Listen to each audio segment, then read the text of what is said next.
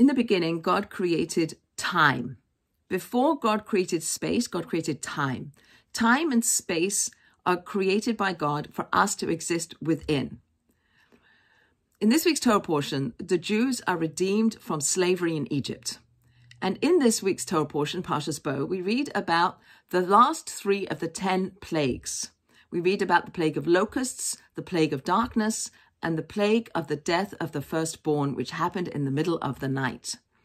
Right before that last plague, God gives the Jewish people their first mitzvah.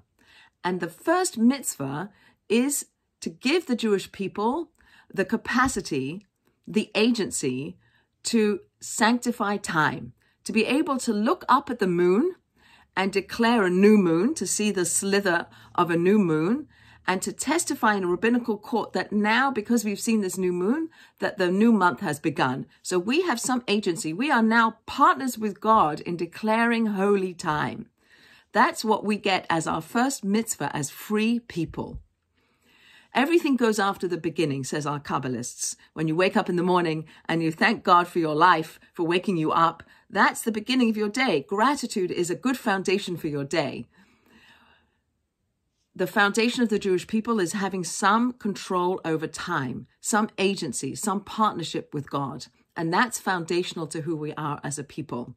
When we look at the moon and we see that it goes through cycles, that it waxes and wanes, that there's periods where it's darker and periods where it's lighter, that's a message for us that as a nation and as an individual, we also go through those cycles, cycles where we feel down and we're downtrodden and we're not doing our best. And then there's times where we feel full and we feel like we're on our game and we're, and we're good. And we go through those cycles and we go through that just like the moon does. So when we exited Egypt and we were given the first mitzvah of having some agency and some partnership with God over time, God is giving us that as a foundation that we should not be slaves to time, that we should have our own sense of control over time and agency over time and manage our time well and use our time well.